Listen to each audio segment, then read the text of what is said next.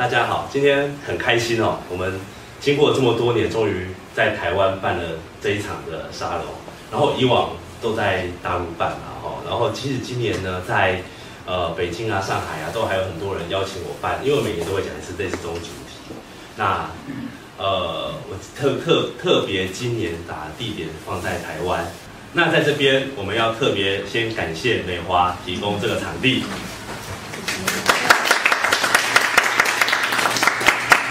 第一个字怎么念？有没有人会念？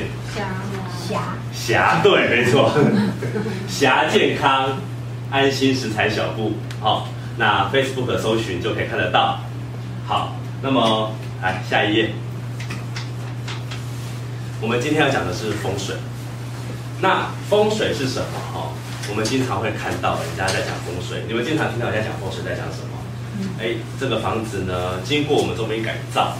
那个屋主呢，就立刻买豪宅、买豪车发大财，对不对？所以放个水晶洞有神奇的催财效果，经常听到都这些嘛，对不对？好，那我现在告诉各位，风水是什么？其实风水它是一个人与自然环境的相互作用，也就是说，古人他为什么要有风水这样子一个学问？好，风水这个学问它最主。最初最初，它只是为了让人居住能够舒服，所以我们中国古人是在中原嘛，中原地方它在靠北边，必须要坐北朝南，对，为什么坐北朝南就知道吧？风太冷。对，方风的，南方有阳光。你们如果在中国居住过，你们就会知道南北的差异到底有多大。同样一间房子，北边的房间跟南边的房子相距不过两公尺。那个冷热就差非常多，因为没有居住过的人可能无法体会这一点。所以古人最早要去研究风水这个学问，他只是如何让人居住的舒服。接着他还研究这些天地之气它是怎么形成、怎么运行，这些天地之气如何进到我们的生活环境当中，让我们人可以去利用这些气。那其实风水在讲的就是这些气的运行对于人的影响，好，所以其实它讲的就是人与环境的关系，因为地球会有什么自转，自转，还有公转，对对，太阳有公转，还有九大行星对着地球也会有相互的作用。好，来先考各位一个常识，木星听过吧？听过。好。木星，哎，跟地球的交汇，然后木算是木星，木星绕一圈，它的周期是多长？有没有人知道？举手一下。十二个月。十二个月。十二年。对，十二年。我们安太岁就是因为木星的。就是因为木星的关系。对，其实这些所有的星体对地球的影响，对，所以我们在研究风水，其实你要从原理上去下手，所以它看的是一个天地之气的一个作用。好，下一页，这是什么地方？台北。哎，对，台北市所有的城市，它的形成都是有有原因的。嗯，我们在古书上，它对风水的记载，其实最早古书上对风水的记载，他们在讲的都是气的运行。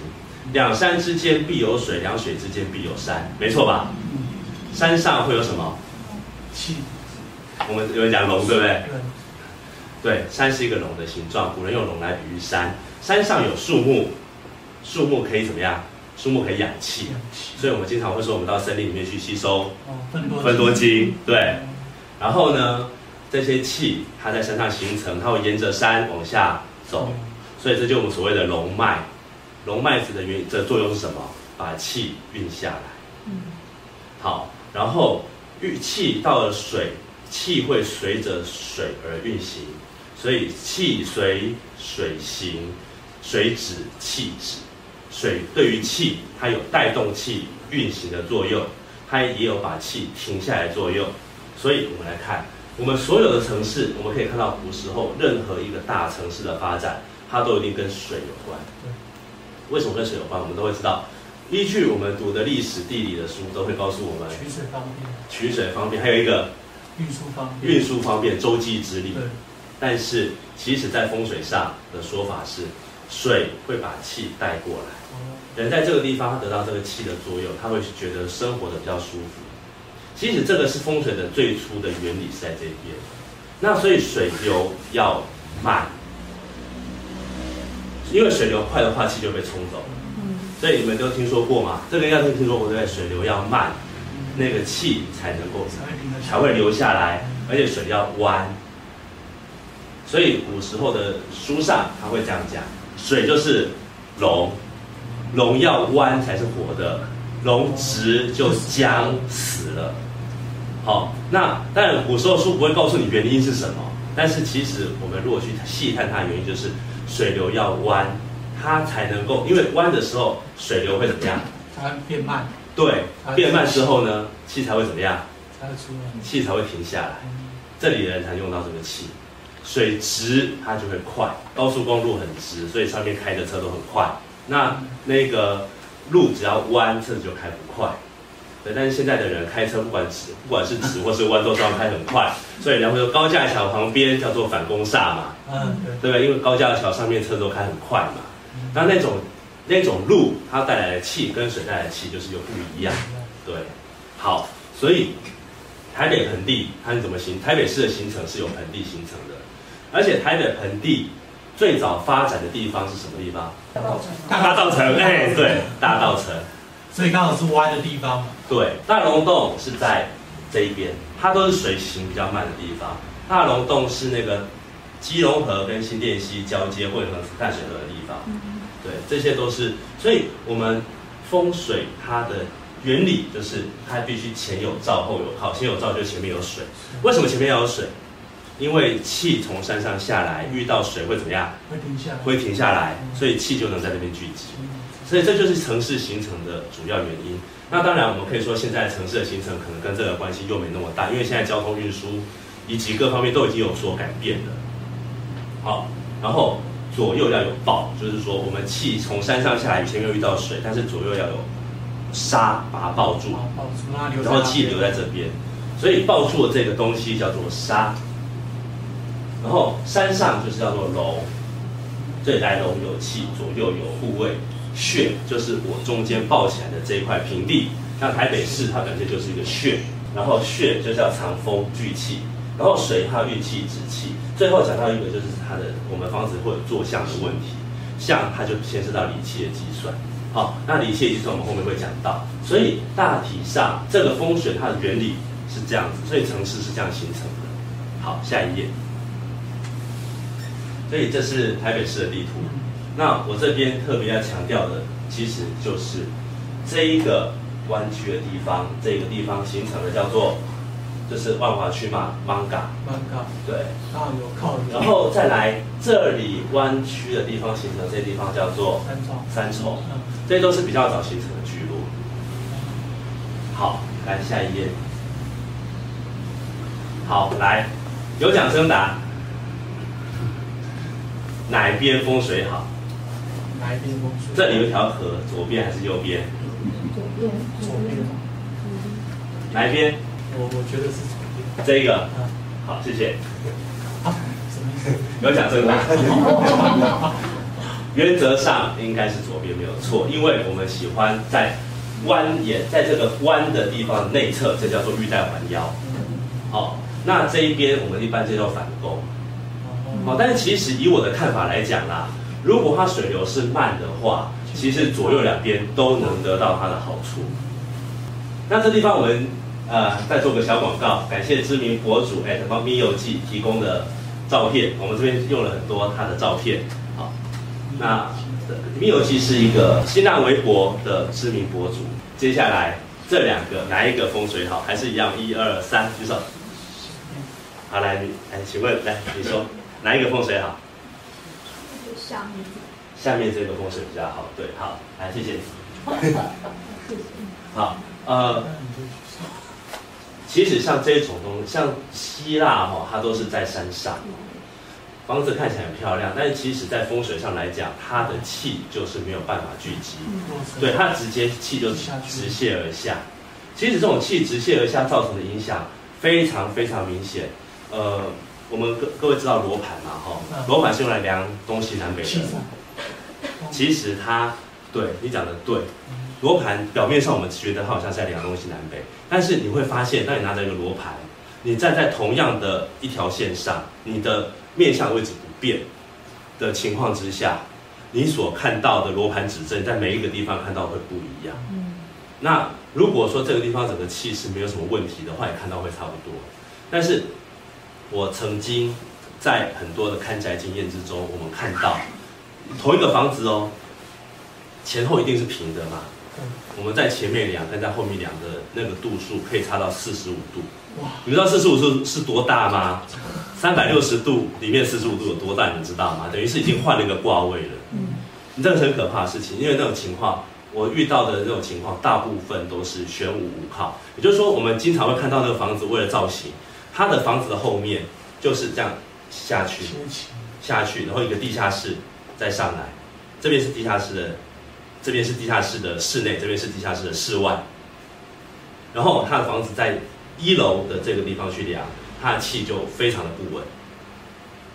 然后，而且我见过一个奇葩，它更厉害，是在地下室的，因为这个公寓嘛，哈，大楼嘛，那它的这个下去凹下去这个地方，它的目的是为了让地下室采光，嗯，所以他做了这样的设计，对不对？嗯好，然后那个老兄他很聪明，他就充分利用那个地方去种菜，然后种菜也没什么关系，但是因为他们是在内蒙，嗯，然后他们就取材方便嘛，就直接拿马粪来当肥料，所以他就，我就觉得在自己家的后院堆了一堆屎，我就跟他讲说一定要改，他不相信，都没有办法，所以那种情况就很类似像这样子的状况。嗯。所以这种在连一个房子有这样子的情况都能造成气不稳的，那何况是这么严重的状况？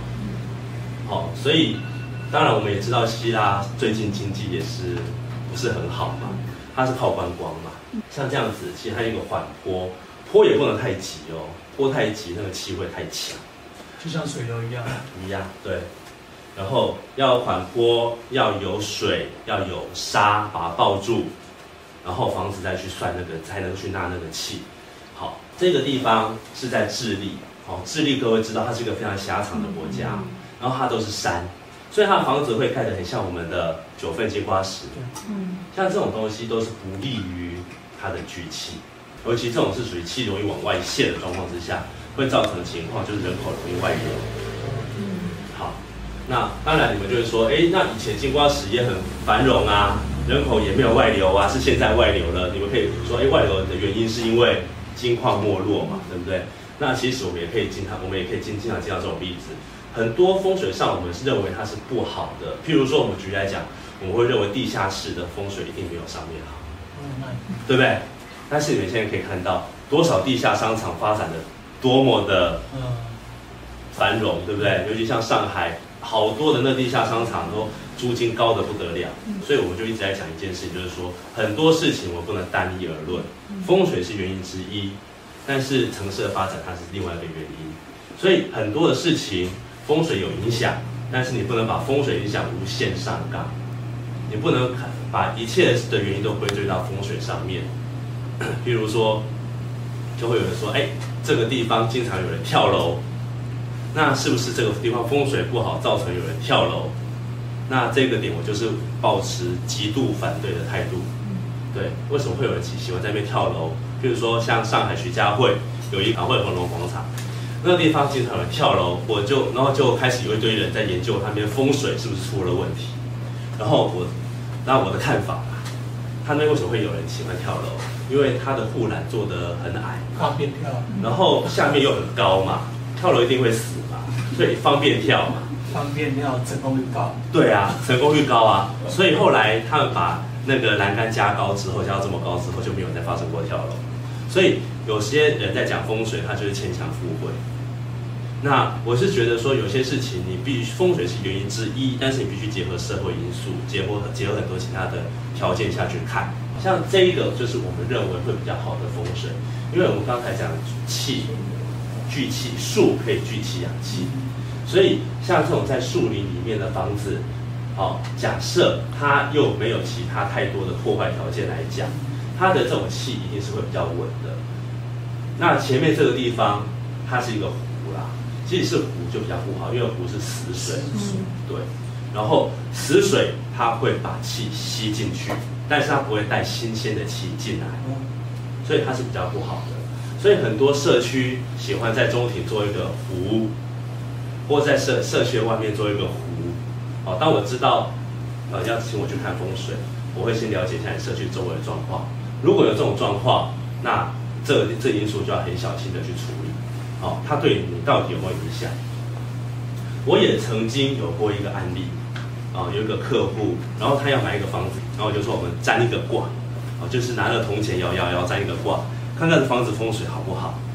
然后呢，那个一摇出来，我就觉得，哎，这个房子北方好像有点问题，那卦上面在北方的位置有点问题。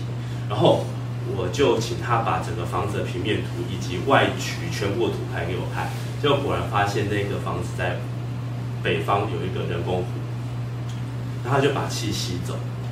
所以这个风水到底好不好？以外形来讲，它是不错的，哦，但是因为它这个湖的关系，它会造成附近的房子它的气会受到影响。我们刚刚讲水会把气带走，带着走，同样水也会把气留在这个地方，把气吸走。好，所以如果你家旁边，我们家旁边有小河，对，我们小时候唱的那首歌，后面有山坡，对，后面有山坡很好，前面有小河很好，但小河要是一个流动，而且最好是在我们家面前面最好是蜿蜒的，对，千万不要是一个直的，就把人家说你前面如果是一个直的河，就把你的财带走，原因就是因为它把你的气带走了。气太快了留不住。对，气太快带走留不住，住在里面的人头脑会不清楚，里面的人健康状况会没那么好。其实风水讲到最后，它要的一个原理很简单，住在里面的人健康好，头脑清楚，就可以做出正确决定。所以人家会把这个东西跟财钱财赚钱绑在一起的说法，原因是因为这样。但是我们要了解一下原理是是因为气。那我们刚刚讲到气，它由水带来，那前面必须我们的房子前面必须要有一块地方可以让气可以运行，可以稳定。好，那所以这块地方叫做明堂。嗯好，那么我们来看这张这张图片，这个是台中市政府。我们会发现，我们古时候的人在盖房子都会比较符合学理。这是旧的台中市政府，现在新的不是这样子了。旧的台中市政府，它前面就会有一块广场，那广场上一定会种花。你们很少看到旧的那个建筑物的前面临近我们大概一两公尺之内就是喷泉的，很少看到，基本上是看不到。但是现在很流行这样的设计，因为古时候的人其实还是比较懂风水的，所以台州市政府旧的建筑物前面有一块明有一块很很广阔的广场，可以让气稳定。对不对？这叫做明堂，好，这叫万明堂。好，那我们看一下，再站一下，这就是我们比较新式的建筑物，台北市政府。来比较一下这两个哪一个好？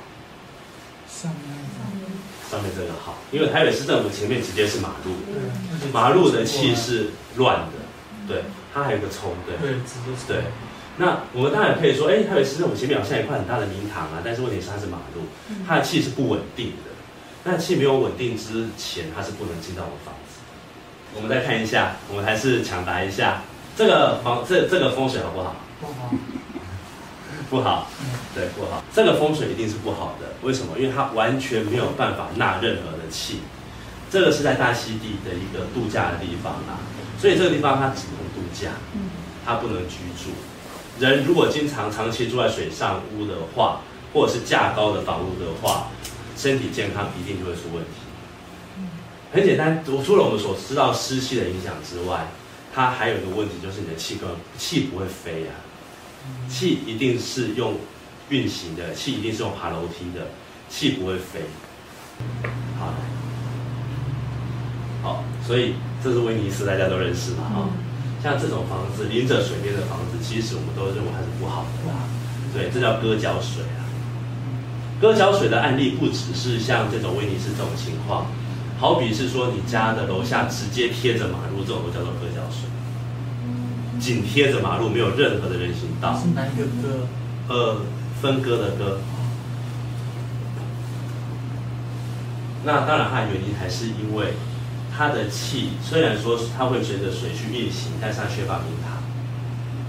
你要缺乏明堂你看这边假设这里有个门